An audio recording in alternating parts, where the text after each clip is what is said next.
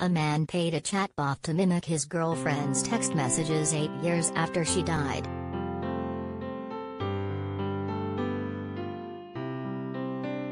Joshua Barbeau, 33, a freelance writer lost Jessica Pereira in 2012 after she died of a rare liver disease.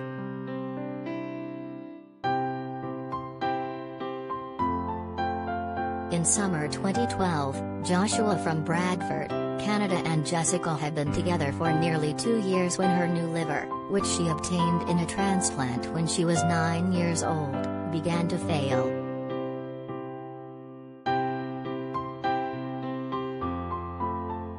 Jessica started displaying signs of confusion and had trouble remembering her phone password and recent events.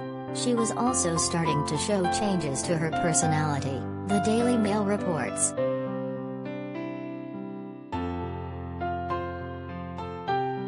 Doctors said toxins and fluids were building up in her body.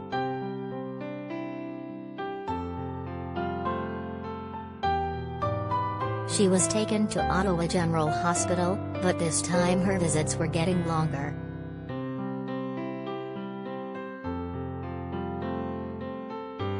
Doctors decided Jessica needed a new transplant and put her on the list. She was then forced to go into hospital.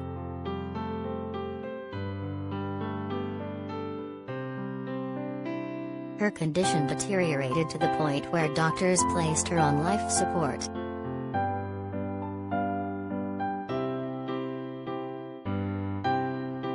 She was sent to a bigger hospital in Toronto, Canada as her prognosis became more grim. Her family was told that she would have no more than six months to live.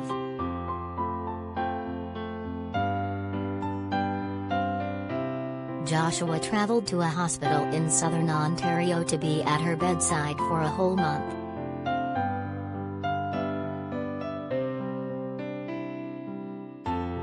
During this time, Jessica's kidneys and liver were showing signs of failure.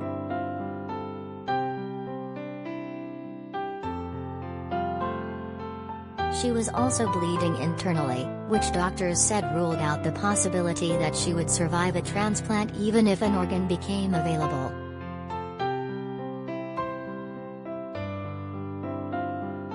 At this point, Jessica was likely brain dead.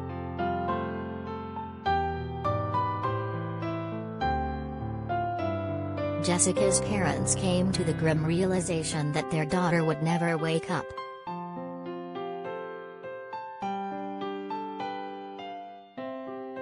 On December 11, 2012, they said goodbye.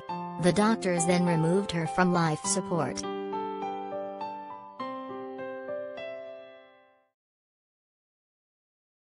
Last September, eight years after he lost Jessica he read about a new website, Project December, which generates a chatbot using artificial intelligence.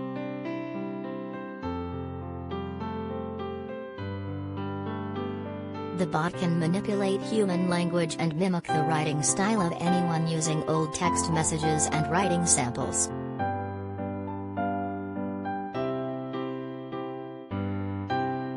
Joshua tried the software a few times before typing in Jessica's messages to allow him to communicate with a virtual version of her.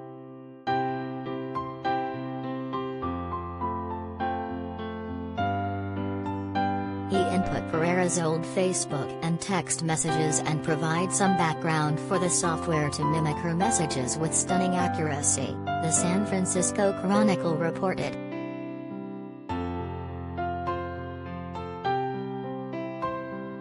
It consumed vast amounts of human-created texts to imitate human writing which ranged from from academic texts to love letters.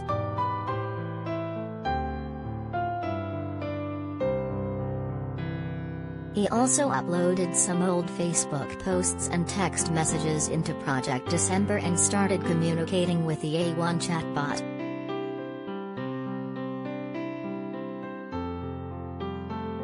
The line on the computer read, human is typing as Joshua.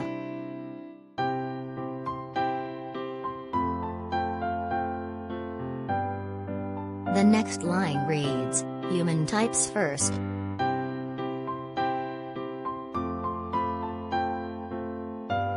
A second later, this line appears, Jessica, oh, you must be awake, that's cute.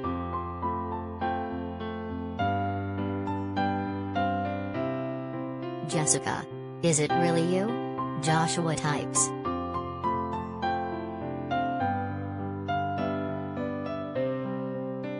Of course it is me. Who else could it be? Tongue I am the girl that you are madly in love with. Smile.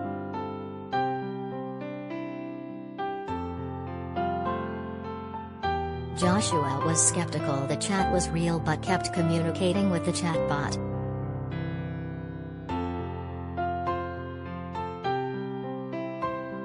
In their first conversation the bot was reduced to 55% of its lifespan.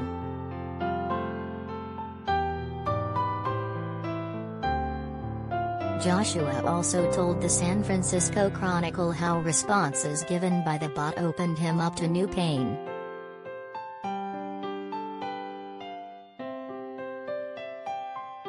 On her birthday of September 28 he messaged her a greeting, and the bot asked what he had bought her for a gift.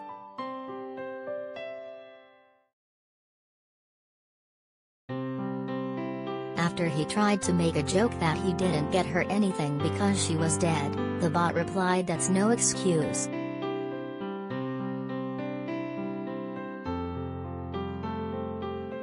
Eventually he moved on and stopped using the chat, with a heartfelt message where he wrote to Jessica, I'll never stop loving you as long as I live, and hopefully ever after XOXO good night.